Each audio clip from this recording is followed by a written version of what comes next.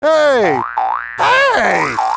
I'm Mr. O, here with another oh, moment at the Children's Museum of Houston. You are using a rigged coin. It's not There a is rigged no coin. way How you did can I keep get a getting rigged coin? hits. You're just a jinx. It's not. I am not a jinx. You can't get a coin flip to go your way. Whoa, what are y'all fighting about? She's using a rigged coin. I'm no, but she's jinx. using I'm a rigged coin. rigged- Time out, time out. O- o- only one at a time. One at a time. It all started in How Does It Work at the ball coaster. Whoa, look at this. Whoa. Oh, well, we can't both go first. Okay, I'll flip a coin. Heads, I go first. Tails, you go first. Okay, that seems fair. Heads, I go first. That wasn't so bad, except Heads, it kept happening again and again heads, and again heads, and again. heads. Yeah, No. But I didn't cheat. Then how do you explain getting all those heads? There's an even chance of getting heads or tails. How come there were no tails? Ah, I think I see. We probably have a misunderstanding about probability. Probability is a measure of how likely an event is. Let's look at the probability of coin flips. If we want to know the probability of heads, there's only one way for the heads to land up out of two possible outcomes, heads or tails. So the probability is a 1 to 2 ratio. The same is true for tails, 1 to 2. It's an even chance. Let's try it with a die. There's only one way for each number to land up out of six possible outcomes. So the probability for each number is a 1 to 6 ratio. Now let's try it with a spinner. There's only one way for each of the four numbers of this spinner to come up, so the probability for each number is a 1 to 4 ratio. Now let's look at this spinner. There are four segments, but there are three opportunities for red to come up. So the probability of red is a 3 to 4 ratio.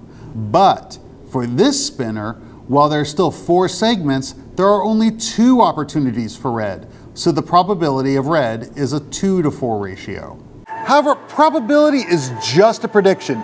It does not guarantee an event will happen. Just because a coin lands on heads the first time does not guarantee it will land on tails the next. But is it really an even chance that a coin will land on heads or tails? Well, to measure that, we have to do lots of tests, more than just 5, 6, or even 10. My assistants here have been flipping coins and recording their results. I have 51 heads and 49 tails. Well, I have 47 heads and 53 tails. So we're pretty close to an even number, and the more tests we do, the closer we would get. But the probability for any coin to come up heads is still going to be 1 to 2. Now, probability has all sorts of real life applications. For example, weather forecasters use probability to predict where storms are going and what the chance of rain is going to be. And of course, game designers have been using probability for generations. Let's look at this a little closer. Before we begin, remember, science is fun, but it can also be dangerous, so always have a responsible adult helping you. We're going to play a fun probability game called Pass or Roll. For this, you'll need one die and some counters, such as small candies, beans, or coins. Even though it's just the two of us, this game can be played with a lot more people. First, place all the counters in the middle of the table. Next, everyone rolls the die once. The highest number goes first. Each player takes turns rolling the die. If you roll a 1 to 5, you may take that many out of the middle. So there's a 5 out of 6 chance you'll take away something. But if you roll a 6, you'll have to put everything you've earned back. So there's a 1 in 6 chance you'll have to put it all back.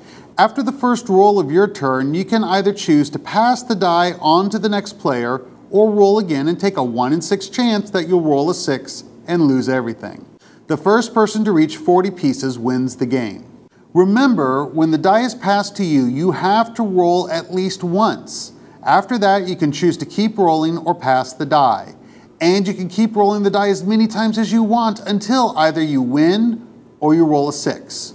With the 6, you have to put everything back and pass the die. Keep in mind that with every roll, there's a 1 in 6 chance of rolling a 6.